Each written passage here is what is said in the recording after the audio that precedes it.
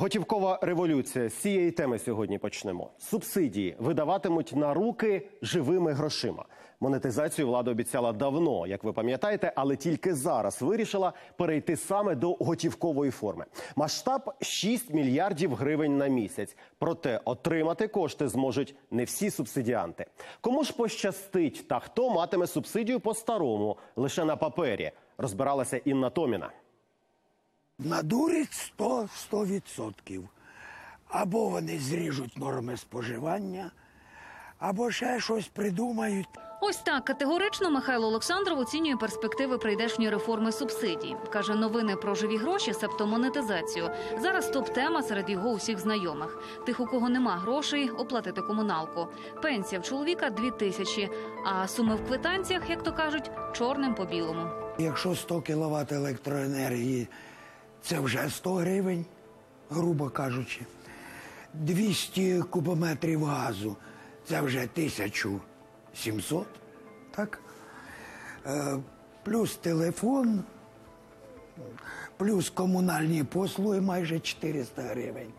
Вода, каналізація, сміття, квартплата.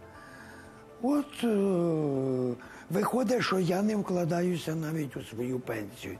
Це виходить десь 2, 2 400, 2 500. Із цих двох із половиною тисяч держава компенсує пану Михайлу більше половини 1700. Крім того, чоловік заощадливий. Після утеплення квартири та установки нового котла зекономив три тисячі. Але такого вдалося досягти лише в квартирі. А от в приватному будинку субсидія ледь покриває спожите. Тут у мене, як кажуть, я в притірочку. Трошки я зекономив, але я розумний і хитрий. Я в свій час не викинув рубку.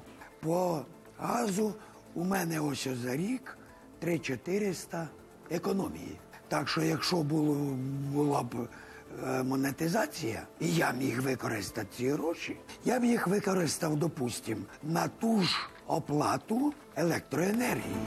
Тепер пенсіонер хвилюється, що і грошей на руки не отримає, і чесно зекономлене спишуть, бо не зовсім розуміє, як же відбуватиметься розрекламована монетизація субсидій.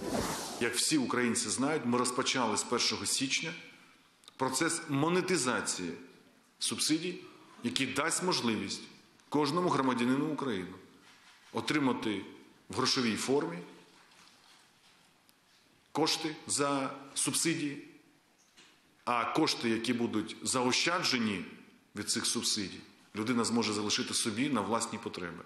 Чиновники запевняють, для споживачів схема проста. А от держава ще має обрати який з двох варіантів ефективніший. За півроку мають визначити, як краще людям готівку видавати усю субсидію щомісяця чи лише зекономлені суми в кінці опалювального сезону.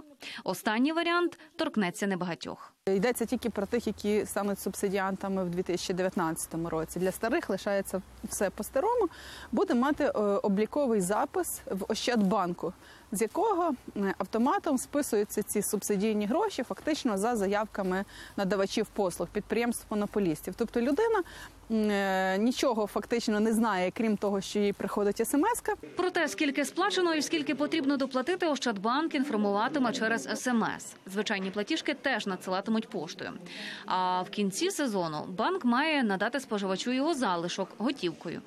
Отримати гроші вживу можна буде лише у тому випадку, коли знову ж таки Ощадбанк відкриє новий спеціальний картковий рахунок, на який він в інтересах конкретного споживача, фізичної особи, перерахує залишену суму коштів у тому випадку, якщо людина економила. Критики такої формули називають цей підхід псевдомонетизацією, бо ж перевірити, чи не нараховують тобі постачальники зайвих кубометрів чи кіловатів, буде нелегко.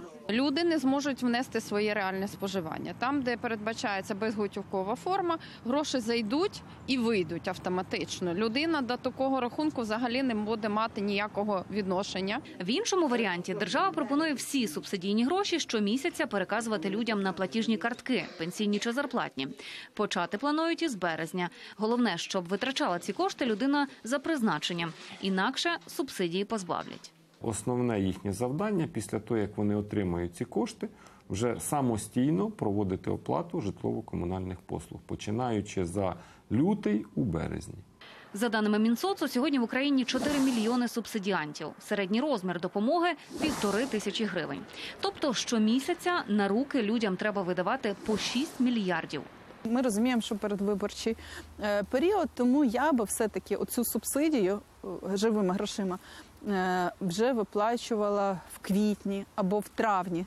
Чому, коли в нас закінчується опалювальний сезон і сума до виплати буде значно меншою? Самим великим плюсом у цій процедурі є те, що таким чином держава намагається виховати е, енергоощадливого споживача. Але я б не радив усім дуже радіти з даного питання, тому що е, рік, два, три таким чином буде відбуватися, а потім держава візьме і прийме рішення, що ви знаєте, шановні друзі, ми е, маємо, ми хочемо привести до реальних об'єктивних показників нові норми споживання, понизити їх Та все ж монетизація не матиме зворотньої дії, бо ж Україна пообіцяла її вже давно, і не тільки своїм незаможним співвітчизникам, а й грошовитим міжнародним кредиторам. Інна Томіна, Богдан Савруцький і Богдан Вербицький. Підсумки тижня телеканал Інтер.